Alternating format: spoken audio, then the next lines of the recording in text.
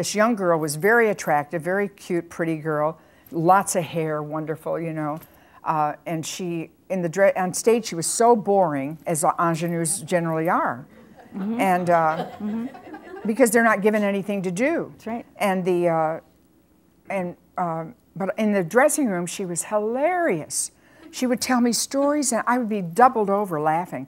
And I'd say, You've got to do that on stage. That is so great and she'd pull herself up and her honestly her hair would expand from the inside